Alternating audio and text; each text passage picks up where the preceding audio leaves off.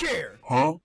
Look, listen! I'm late to the party, but uh, I kind of want to talk about the Warbond anyways, so uh, how about you sit on it and spit? I'm gonna keep it brief.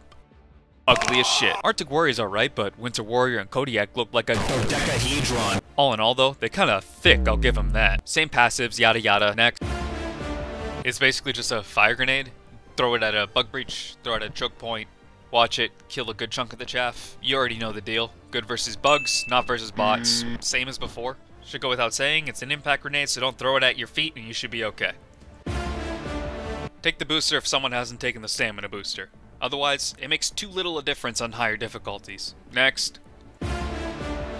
Oh man, let me tell you, the verdict feels like something out of a dream.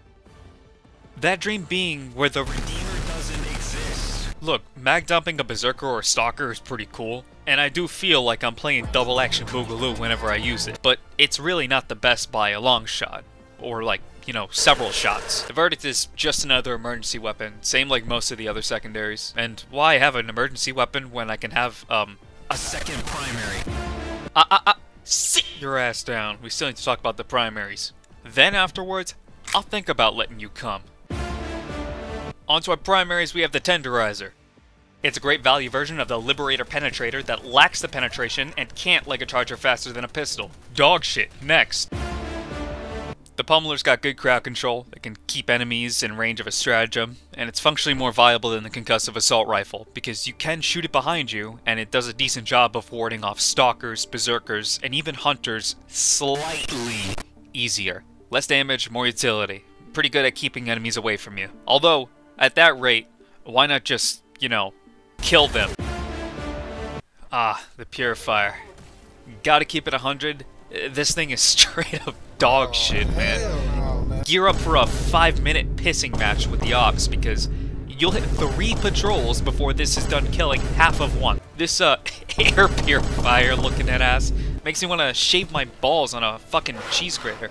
But just because I feel that way doesn't mean you have to. Treat your balls nicer with our sponsor, Manscaped. This one just saddens me, in all honesty. One would expect more from a weapon that needs charging, but that's, uh, proven to be a bit of a mistake. Just take the damn Scorcher.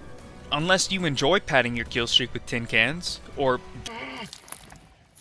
And that's it. Polar Patriots is done. Another war bond, another round of items slated to be dog shit by the time the next war bond comes out. What will Alexis Kravchenko, the same man who was a lead game designer for Hello Neighbors 2, help cook up for us next? Will it be more weapons to sink our teeth into, or weapons we'll be sinking further into the fucking ground with? Shit, I don't know. I'm only like 12 years old. But expect more senseless slop from me soon. Maybe not Helldivers content only, but slop nonetheless.